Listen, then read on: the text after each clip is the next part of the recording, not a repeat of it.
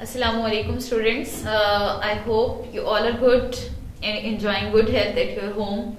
So students, uh, today we will uh, study uh, of science. Uh, we will do the study of science subject, your class 6 and it's your lecture number 3. So open up your uh, book page number 154, the unit number 7, natural phenomena. बेटे आपकी unit है natural phenomena आपके previous chapters भी natural phenomena से ही belong करते थे। यानी कुदरती तौर पर अल्लाह पाक ने जो असूल कवानीन बनाए हैं जिस पर ये कायनात चल रही है उन फिनोमिनाज में से कुछ को हम जो है चैप्टर वाइज जो है वो स्टडी कर रहे हैं। And it's your chapter number 15 जिसमें हम रीड करेंगे light shadow and reflection light means रोशनी जो हम आ, देखते हैं आपको पता है रोशनी कितनी ज़रूरी है। They are different sources of the light and the main और the largest sources of the light sources of the light is sun सूरज जो है वो हमें बेटे लाइट प्रोवाइड करता है। तो ये क्या है? नेचुरली अकरिंग सोर्स है, जो हमारी यूनिट का नेम भी है नेचुरली नेचुरल फिनोमिना तो उस लाइट को, सूरज की लाइट से बेटे उसको ऑब्ज़र्व किया गया, उस पर उसकी अहमियत को जो है वो जाना गया। और इस बेस पर जो है हमने आर्टिफिशियल सोर्सेज ऑफ़ लाइट जो है वो भी प्रोड्यूस किए और फिर उस पर वर्क किया गया means what is the path way of the light what is the direction of the light how light works in light की वजह से क्या क्या जो है वो चेंजिंग्स आते हैं और उन चेंजिंग्स में बेटे ये shadow and reflection these are the different principles of light जिसकी वजह से शेडोज कॉज होती हैं शेडो जिसको आप उर्दू में साया भी कहते हैं एंड रिफ्लेक्शन जो अक्स uh, uh, बनता है ना लाइट कैसे रिफ्लेक्ट करती है and we are able to see So it is these three main things we will discuss in your chapter. The SLOs, the student learning outcomes of your chapters are classification of the various materials. बहुत से materials बेटे हम अपनी रोज़मर्रा routine में जो use करते हैं फेस करते हैं मटेरियल्स उनकी क्लासिफिकेशन को डिस्कस करेंगे on the behaviour of the light light के बिहेवियर के बेस पर व्हेन शेडोज आर फॉर्म्ड और लाइट की ही वजह से बेटे शेडोज लाइट की किस डायरेक्शन और मटेरियल की कौन सी प्रॉपर्टी की वजह से जो है वो हम शेडोज को देख सकते हैं, साए बनते हैं। In what colour are shadow एक शेडो का कलर क्या होता है, रंग क्या होता है, ये हम डिस्कस करेंगे। रिफ्लेक्टिंग सर्फेसिस अब जो हमारे टॉपिक का नेम भी था रिफ्लेक्शन तो रिफ्लेक्टिंग सर्फेसिस यानी लाइट जो है किन किन सर्फेसिस से जो है रिफ्लेक्ट होती है और अपना जो है पाथ पे अपनी डायरेक्शन को बेटे चेंज करती है So uh, first of all, let uh, come on your book page number 154. Here is introduction of your chapter. Uh, in introduction, we all are familiar with light. We see so many things around us. Colorful, colorful होती हैं और different होती हैं. Colourful different uh, number of colors की होती हैं, black होती हैं, white होती हैं, different colors की होती हैं. ये क्या है? ये सब लाइट की वजह से हमें चीज़ें कलरफुल ब्लैक और शेडोज या रिफ्लेक्शन जो है वो फील होता है when we walk in the sun we see our shadow following us आपने नोट किया होगा कि जब हम सूरज जब सूरज अपनी फुल जो है आबोताब से निकला हुआ होता है और आप चल रहे होते हैं तो आपका शेडो आपका साया बन जाता है। और जैसे जैसे आप मूव कर रहे होते हैं, आपका शेडो भी मूव कर रहा होता है। अब जैसे आप मूव करेंगे, अपनी डायरेक्शन चेंज करेंगे ना बेटे नोटिस कीजिएगा, अगर अब तक नहीं किया तो आपका जो शेडो है, वो भी अपना साइज़ और अपनी शेप चेंज करता जाएगा। इसको हम जो है रीडिंग में भी मजीद डिस्कस करेंगे बेटे। और उसके अलावा ये शेडो वो कह रहे हैं, क्यों बनता है? क्योंकि लाइट जो है वो पास नहीं करती through the solid objects that's why we obtain shadow हमें शेडो मिलता है। हम सॉलिड ऑब्जेक्ट्स हैं, हम ओपेक ऑब्जेक्ट्स हैं। दैट्स वाई जो सन रेज हैं वो हमें से पास नहीं कर सकती। और वो हमारा शेडो जो है that in normally black colour हमें जो है वो नज़र आ रहा होता है। After that we all have mirrors at our home हमारे घरों में हम सबके मिरर्स होते हैं। आप उनमें देखते हैं, ठीक है? आपने अक्सर गाड़ियाँ देखी होंगी एंबुलेंस देखी होंगी बेटे। उन एंबुलेंस पर जो लेटर्स हैं एंबुलेंस के, वो उल्टे लिखे होते हैं। वो उल्टे क्यों लिखे होते हैं? क्योंकि जो साइड की गाड़ियों वाले हैं, वो शीशे में देखते हैं तो उन्हें वो लेटर्स वो वर्ड्स सीधे नज़र आ रहे होते हैं। तो इसका क्या मतलब है? ये तो एक कॉमन सा सवाल है ना? और कॉमन सी ऑब्जर्वेशन है कि एंबुलेंस पे लेटर उल्टे लिखे होते हैं। क्यों? क्योंकि शीशे में जो गाड़ियों वाले हैं, ताकि वो एंबुलेंस को रास्ता दे दें, कोई भी इमरजेंसी केस है, उन्हें सीधे नज़र आए और उन्हें एंबुलेंस लिखा हुआ साफ़ पता चल जाए। बेटे मीन्स के मिरर जो है रिफ्लेक्ट करते हैं लाइट ठीक है? एंड क्या करते हैं वो? हमेशा आ, हमें जो है वो उल्टी चीज़ नज़र आ रही होती है। अगर आप एक छोटी सी एग्जांपल लेते हैं मिरर के सामने खड़े हैं and you will raise your right hand what you will notice कि आपको वो मिरर में आपका लेफ़्ट हैंड फील हो रहा होगा। आपका थंब इस साइड पर है तो आपको दूसरी साइड पर नज़र आ रहा होगा। अगर कभी पहले आपने एक्सपेरिमेंट नहीं किया देन डू इट वंस तो बेटे, क्या है we look into the mirror and see our own face inside it actually it is the reflection of our face in the mirror और ये हमें मिरर में नज़र क्यों आता है? Because of the reflection of light and what is the reflection of light reflection of light is the bouncing back of the light यानी light जो है, टकराकर वापस आ जाती है तो हमें रिफ्लेक्शन जो है, वो नज़र आ रहा होता है।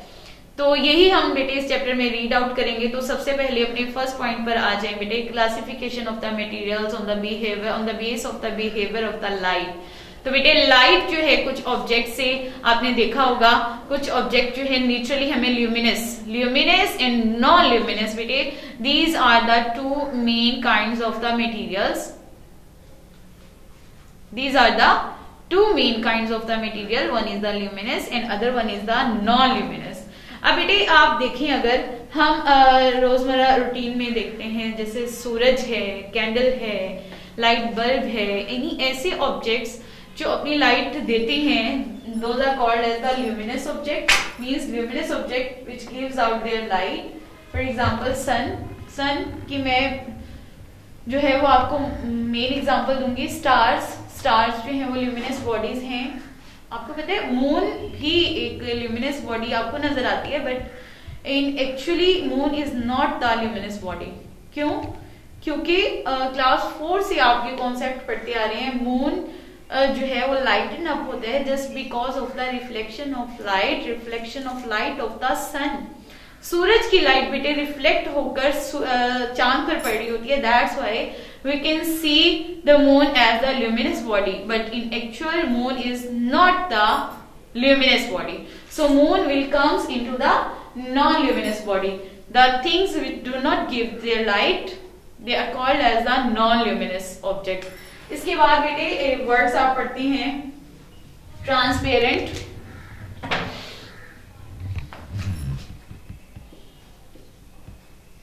ट्रांसपेरेंट ऑब्जेक्ट्स और ट्रांसपेरेंट बॉडीज उसके अलावा ट्रांस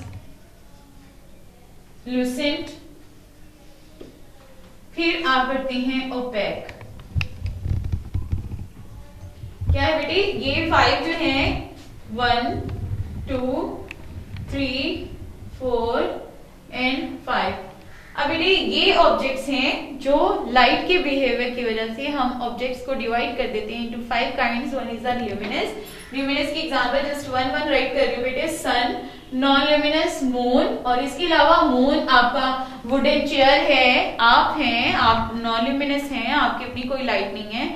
इसके अलावा डिफरेंट प्लांट्स हैं Uh, कोई भी सॉलिड मटेरियल है they are called as the non luminous means the objects which do not gives out their light are called as the non luminous objects इसके बाद आ जाता है बेटे टर्म ट्रांसपेरेंट ट्रांसपेरेंट बेटे आपने अक्सर यूज़ किया होगा transparent glasses transparent plastic bags transparent उन चीज़ों को कहती हैं हम जिसको जिसके आर पार हम देख सकते हैं. मीन्स uh, जो आप घर में क्रॉकरी यूज़ करती हैं शीशे के ग्लास यूज़ करते हैं शीशे के बर्तन यूज़ करते हैं तो उनमें आप इजीली जो है वो चीज़ों को देख सकते हैं. They are called as a transparent objects इनकी प्रॉपर डेफिनेशन करिए आप तो ऐसे होगा objects uh, which allows the light to, pa to pass through them easily are called as the transparent objects means वो objects जो अपने अंदर से light को आसानी से आर पार या पास होने की इजाज़त दे देते हैं अलाउ कर देते हैं they are called as the transparent objects and the example is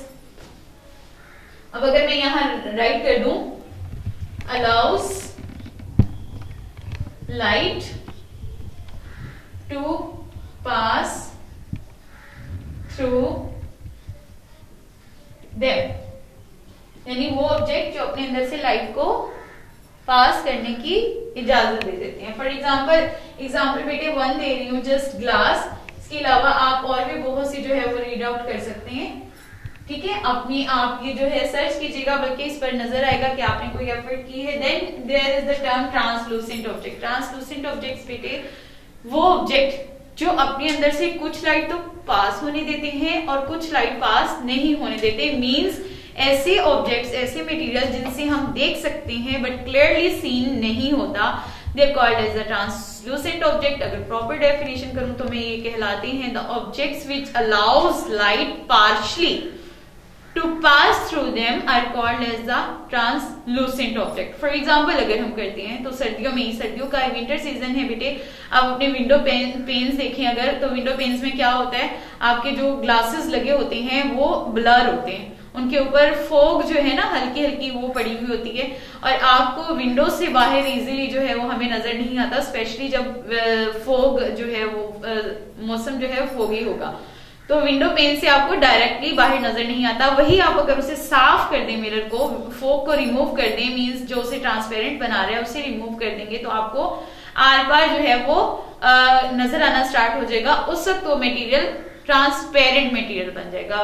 But when the glass is frosted when the glass जो आप ग्लास पर आपको फोक नज़र आ रही है जब ग्लास फ्रोस्टेड है बेटे तो उस वक्त वो एक ट्रांसलूसेंट ऑब्जेक्ट है एक टिश्यू पेपर टिश्यू पेपर लेने बेटे, आप टिश्यू पेपर को एक लाइट सोर्स के सामने रखिएगा, आप आप देखेंगे, आपको लाइट तो नज़र आ रही है that there is something light in behind the tissue paper but आपको क्लियरली सीन नहीं होता, ठीक है? नेट कर्टन्स ले लें आप नेट कर्टन्स में भी आपको देख सकते हैं आप बट आपको जो एक इमेज जो आपको क्लियर सीन अपनी आँखों से नज़र आ रहा होता है, वैसे नहीं देख सकते आप। तो मीन्स ऐसे material which allows light partially to pass through them are called as the translucent object अगर मैं इसको यहाँ राइट करूँ allows light partially through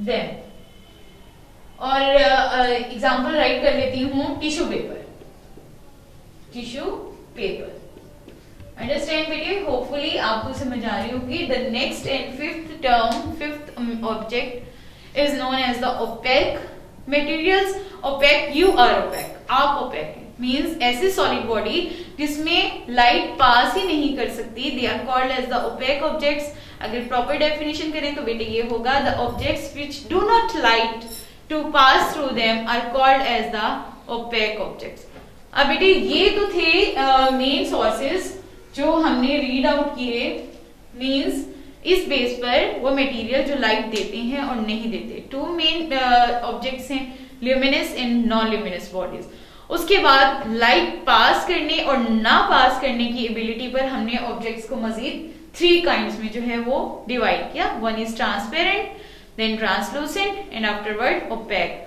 अब बेटे opaque do not allow light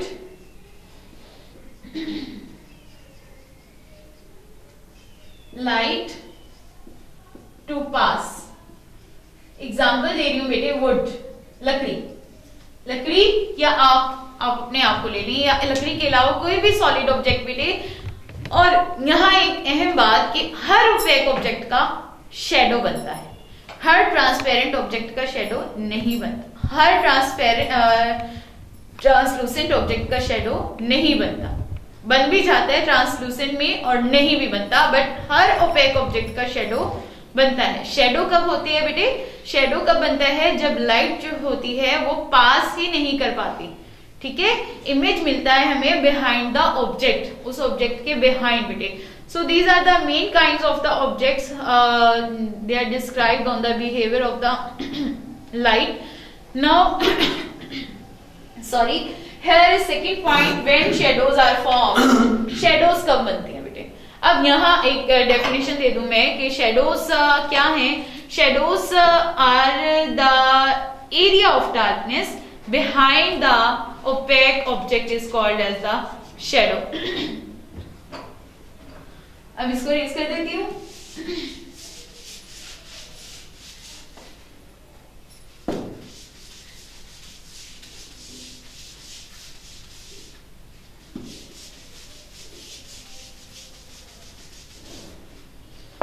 ji shadow आपका नेक्स्ट पॉइंट शेडो कैसे बनता है? Area of darkness behind the opaque object ये क्या है?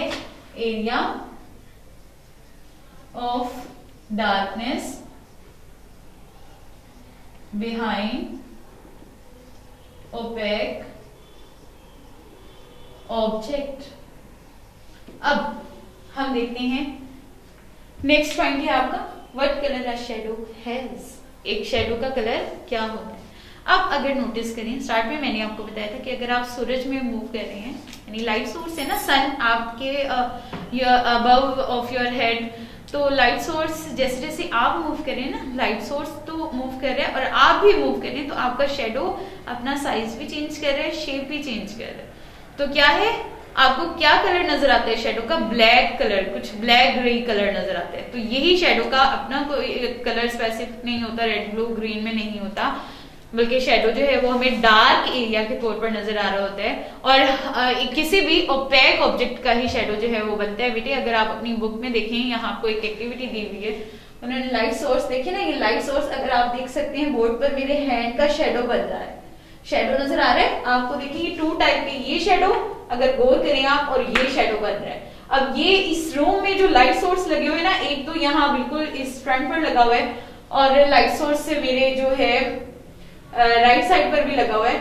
तो जो राइट लेफ़्ट साइड पर लाइट सोर्सेज लगे हुए, उन्होंने अपने अपने शेडो दिए हैं। मीन्स मैं अपना हैंड मूव करूँगी तो मेरे साथ ये शेडो भी मूव कर रहा है। कैन यू सी होपफुली आपको नज़र आ रहा होगा बेटे, अगर आप इसके अलावा कोई थिक लाइट सोर्स लेती हैं, जो आप डायरेक्ट अपने हैंड पर फॉल डाउन करवाएँगे और आपको डायरेक्ट जो है वो शेडो मिल जाएगा। तो here is prove that shadow move as you are moving as you are moving the opaque object और द शेडो ऑब्जेक्ट अब क्या है बेटे, इस एक्टिविटी के थ्रू आपको ये बात होपफुली समझ आ गई होगी। अब वो बता रही है कि आपको shadow of an object looks like the object normally shadow जो है वो ऑब्जेक्ट का उसके आ, उसके शेप के जैसा ही नज़र आ रहा होता है. फॉर एग्ज़ाम्पल जैसे मैंने ये हैंड लिया था हैंड के जैसा शेडो है.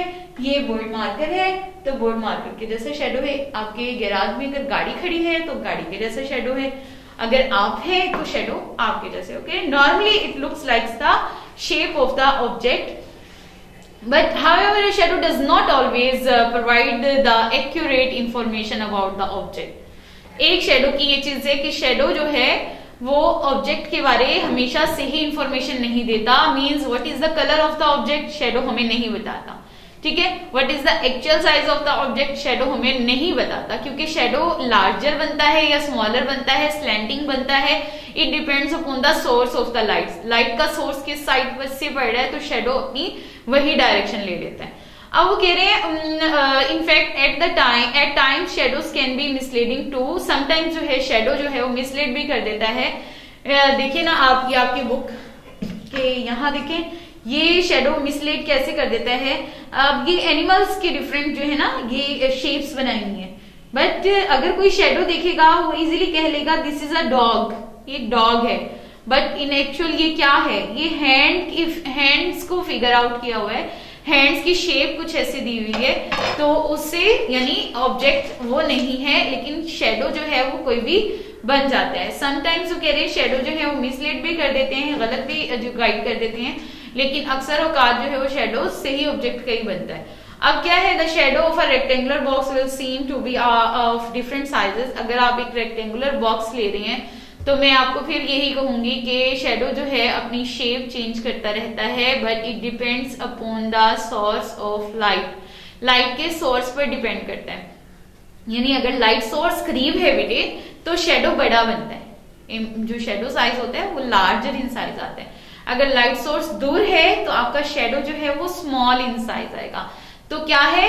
ये आपको डिपेंड करता है सोर्स ऑफ़ द लाइट जो आप यूज़ कर रहे हैं। इसके साथ बेटे, एक आपको बुक में भी डायग्राम दी हुई है आपकी figure number 15.5 hopefully you all have open your books और मेरे साथ आप टॉपिक जो है वो डिस्कस कर रहे होंगे।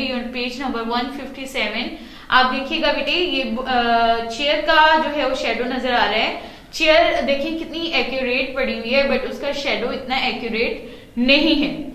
तो बता रही है कि शेडो जो है it can change its shape its size its structure according to the source of light it depends upon the source of light कि कितना जो है वो शेडो अपने आप को चेंज कर कर हमें नज़र आ रहा है। एट सनराइज और sunset the shadows on the ground becomes much longer than the sizes of the object कह रहे हैं जब सूरज निकल रहा होता है या सनसेट हो रहा होता है ग्रूव हो रहा होता है तो हमें शेडोज जो है हमारे या कोई भी चीज़ जो है, वो पड़ी हुई लंबाई में बड़ी नज़र आती है। उसकी रीजन यही है? कि वो ज़्यादा स्लैंडिंग हो जाता है शेडो सोर्स जो है वो ज़्यादा दूर हो जाता है और कोई भी ऑब्जेक्ट है वो अपनी लेंथ में वो बड़ा नज़र आ रहा होता है। The size of the shadow becomes longer when the object is brought near ठीक है? जब ऑब्जेक्ट करीब हो जाता है तो साइज़ लॉन्गर हो जाता है। Near the light source the screen is move away from the object अब वेरियस काइंड ऑफ़ शेडोज ये आपकी बुक में अगर आप हैंड से बने हुए जो है देख रहे हैं तो नज़र आ रहा होगा आपको। डिफरेंट काइंड के शेडोज होते हैं बेटे। यहाँ एक इम्पोर्टेंट पॉइंट आपको बता दूँ। शेडोज के लिए आपको किस किस मटेरियल की ज़रूरत होती है, किसी भी ओपेक ऑब्जेक्ट का जो है वो शेडो बनाने के लिए। तो नेसेसिटीज क्या है शेडो की? An opaque body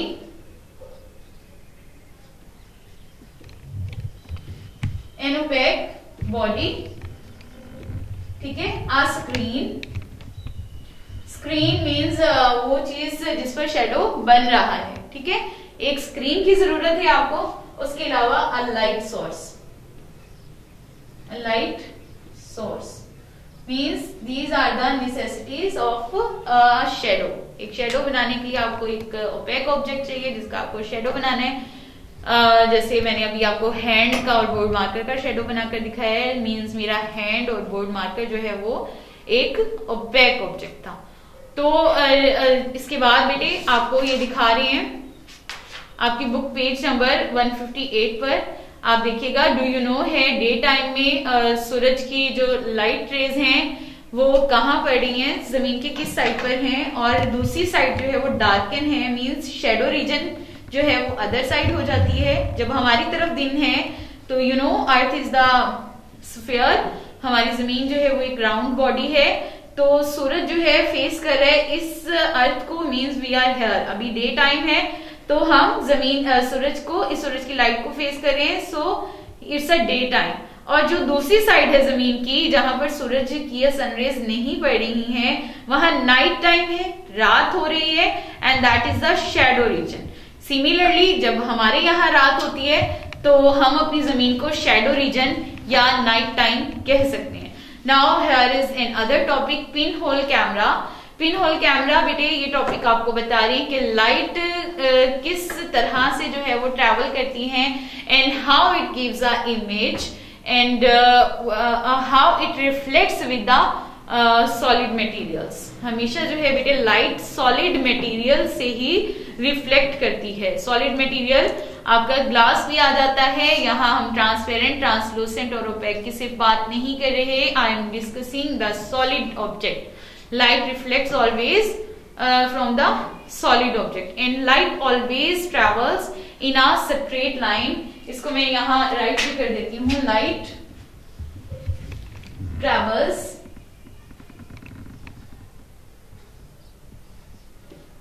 in a straight line यानी लाइट का पाथवे क्या है? अगर लाइट स्ट्रेट लाइन नहीं मिलती लाइट को तो क्या आप लाइट देख सकते हैं? हमें लाइट नज़र नहीं आएगी। कैसे बेटे? ये एक रॉड है। आप देखिएगा। जस्ट आई एम एग्जाम्पलिंग ये एक रॉड है। ये अंदर से ये जस्ट एज्यूम ये हॉलो है। इस साइड पर एक कैंडल बर्न करने, कर कर रख दिया आपने, जो इसके हॉल को बिल्कुल जो है फेस कर रही है। तो आप अदर एंड से देख सकते हैं। कि जो उसकी लाइट है, उस कैंडल के फ्लेम की लाइट है, आप इस होल से इजीली देख सकते हैं। एंड अगर आप इस यहाँ पर एक डिस्टॉर्शन जो है वो रख देते हैं, इस पूरी जो हॉलो स्टिक है, उसमें एक डिस्टॉर्शन रख देते हैं तो आपको लाइट दूसरे एंड से क्लियर नज़र नहीं आएगी। मीन्स क्या है? डिस्ट्रॉशन हो गई लाइट का पाथ भी डिस्टर्ब कर दिया गया। Means light does not travels in does can not travel to uh, by passing through that distortion uh, so it proves that light always travels in a straight line आपकी book में एक activity दी हुई है उस activity में आपने three cardboards लिए हैं थ्री कार्डबोर्ड्स ये टू हो गए और ये थ्री हो गए। इन तीनों के सेंटर में आप होल करेंगे और दूसरी साइड पर आप जो है वो एक यहाँ बना देती हूँ मैं। जैसे ये तीन कार्डबोर्ड है ये होल है इनके सेंटर में and there is a candle ये एक कैंडल है, ठीक है? इसका फ्लेम देखें, ये तीनों एक सेंटर में पड़े इसका फ्लेम आपको यहाँ से नज़र आ रहा है, ठीक है? अगर आप ये सेंट्रल वाला जो कार्डबोर्ड है, ये कार्डबोर्ड डिस्प्लेस कर देते हैं, और इस कार्डबोर्ड को थोड़ा नीचे कर देते हैं, इसका होल यहाँ आ गया। अब क्या आपको ये कैंडल फ्लेम नज़र आएगी? कैंडल का फ्लेम आपको नज़र नहीं आएगा। बिकॉज़ लाइट का तो रास्ता ही नहीं रहा ना। जो होल के थ्रू ट्रेवल कर रही थी ना लाइट लाइट का पाथवे ही नहीं रहा तो हमें कैंडल फ्रेम नज़र नहीं आएँगे। So here you can see that light always travel in a straight line अगर आपके पास लेजर लाइट्स हैं आपके पास टॉर्च लाइट्स हैं आप उसको uh, किसी भी स्क्रीन के अगेंस्ट जो है वो फॉल करें उसकी तरफ़ आप जो है कर कर लाइट ऑन करें तो you will see that the straight lines will bouncing that material that body और दैट स्क्रीन स्ट्रेट लाइन आपको जो है वो बेटे नज़र आ रही होती है। It's means light always travel in a straight line बेटे अपने टॉपिक की तरफ़ आ जाते हैं that a pinhole camera pinhole camera बेटे अ स्मॉल होल होता है इसमें थिन शीट मौजूद होती है। Is all that is needed to take a photograph ये फोटोग्राफ लेने के लिए जो है वो यूज़ किया जाता है। पिन होल कैमरा इस तरह से बनाया जाता है बेटे।